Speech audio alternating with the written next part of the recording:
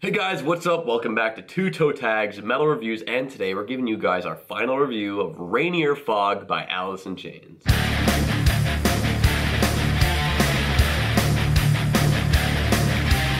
after listening to this album one week over and over and over and over again, I feel that this is not a bad album. Now last week, we didn't really, you know, it, it appeared for our first impressions we didn't really enjoy this album too much. I still didn't hate it. It seemed like he did, but uh, he's, he's, we'll get to you uh, a little bit later. Okay. Um, but I, I feel that over a week, this album didn't drop for me. I don't feel that this is actually a bad album by any means for Alice in Chains, but I don't feel like it's great. This album for me suffered the good but not great kind of issue.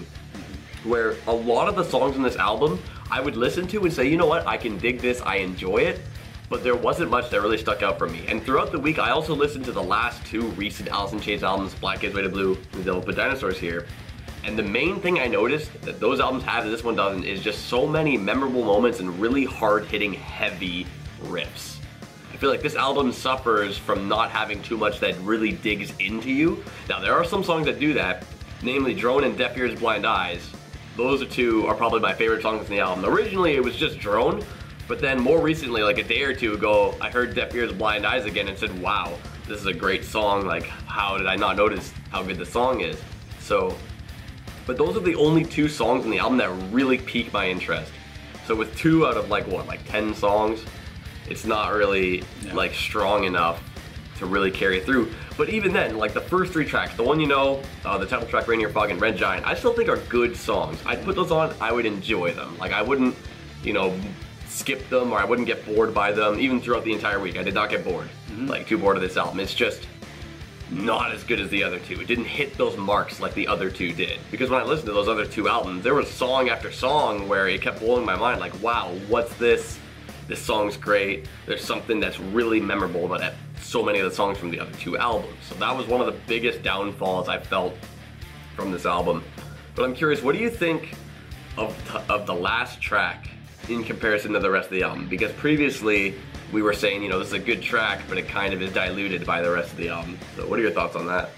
I think after listening to it, uh, you know, all week long, I my opinion on it's changed a bit because after hearing the other songs more and more, they seemed a little less boring than they were the first time I listened to it. So the last song, being how it is, just kind of the long, mellow song to close the album off, I think it does a good job. And I don't think that the rest of the songs on the album are kind of in the same vein as I mentioned last week. They are similar, but the more I listened to it, the more I felt like it did stand out on its own, which I guess is a good thing. With that said, I still don't really like the song. I don't I don't have any really anything positive I could say about the song other than the fact that it is kind of a nice closer to the album. But as far as the album goes itself, uh, it's a closer to an album that I really didn't enjoy that much. I couldn't really get behind this album that much. I really tried. Uh, there are some positive things I've taken away from it though. Uh, namely, uh, I'll mention this. Last week we talked about Drone. We both agreed Drone was our favorite track. You, you said Drone is still your favorite track. My favorite track has changed. Drone is still a good track, but my favorite track is the first track, the one you know. The first single grew on me quite a lot. Um, I don't know if that's just because it's probably the song I listened to the most because I did shuffle the album a few times, but most of the time I played it from beginning to end. So I obviously heard the first, you know, half of the album more than the rest. But the one you know just grew on me. I'm not exactly even sure why it grew on me, but it, for some reason it just seems to stand out amongst the rest of the songs. I feel like whatever that reason is, is the reason they made it their first single because they knew it had some catchy elements to it. So I like that song. I think the second song, Rainier Fog, is really good. The third song, Red Giant, is also good. Those three songs are great. Fly, the fourth song, sucks. I think that song is awful, but I'll get back to that in a second. After Fly is Drone, which is also good. So that's the first five songs. After that, everything's kind of hit and miss. Depends on my mood. Sometimes I'm feeling it. Sometimes there's a certain part of the song, a little riff, a little harmony, a little melody that I might go, oh, that's all right, that's all right. But none of the second half of the album was really any good to me at all. Just a little few parts peppered here and there that I kind of liked. But with all that said, my favorite part on the entire album is in the song Fly. Even though I hate the song, the solo in that song is my favorite thing on the entire album. Love the solo, love the style of the solo. It's very emotional, it's very um, stylistic, and I use those words a lot when I'm describing solos, but I don't know how else to say it. Like, it just has so much mood to it, and it's got like attitude, and I just love how it kicks in, and I just, I'm just like, yes, I'm feeling it. Like, this is fucking cool. But then it goes back to the, the way the song is, and I just don't like it. I just, I don't know. For me, mostly the things I don't like were the vocal harmonies, because what's the guitar player's name? Jerry Cantrell. I think. He does a lot of the he does a lot of the uh, harmony vocals with um I don't know the lead singer's name. Yeah, I don't know. Somebody mentioned it in the comment section, but I don't even know who his name is. But um yeah, they do a lot of harmony vocals together. When they do that, it just sounds lame to me. Like it's just not something that I really can get behind and enjoy. It's a little bit too maybe uh, bright sounding. Where I tend to like music that's a little more darker toned. I'm not opposed to bright sounding music, but when it's constantly happening throughout the album, it's just a, it's just not something that I really enjoy listening to. That my ears just don't really enjoy that style of music.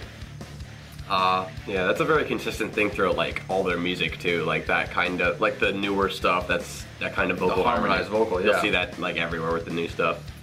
So when coming into this review, my goal here is to be as objective as possible. I always try to do that, right? Because if I listen to an album, I don't like it, that's just my opinion. I don't want to put my opinion in this review and say, don't listen to this album, this album sucks, blah, blah, blah, because that's just my opinion. But objectively, I think this album is pretty good. There's nothing that I could say is like bad about it. Like when I talk about the harmonized vocals, that's my own personal opinion. I just don't like that. But is it done well? Yes, it's done well. Is it done at, at good timing intervals? Yes, it's done at good intervals. Like, there's nothing really bad about it. There's nothing that's misproperly placed or improperly placed, I should say, or anything like that. So overall, the song the songs are put together very well, and the album is performed and recorded very well. It's just not something that my taste can you know enjoy.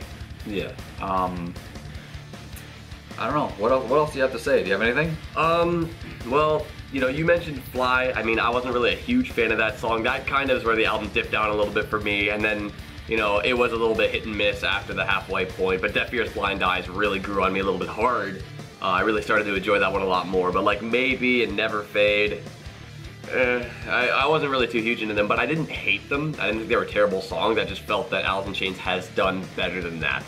But All I Am, I think is a really cool sounding track and is a great album closer. Like, as you mentioned, like it does a great job at ending the album. And I like listening to it. I love how chill, relaxed it is, and it's consistent for seven minutes too.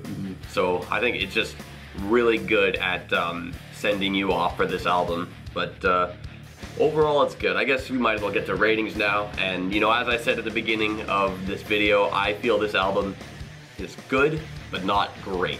I don't think there are problems with this album, like huge problems that make it, you know, not listenable. I could definitely put this album on and enjoy it, but I would more rather listen to the other two, knowing that there's a lot more depth, there's a lot more just things they explore. Mm-hmm. You know, it's a lot harder, the riffs are a lot catchier, there's a lot more memorable moments from the other two albums than I find there are from this one. This one's a lot hit and miss, but like I said, good but not great. I give this album a 6.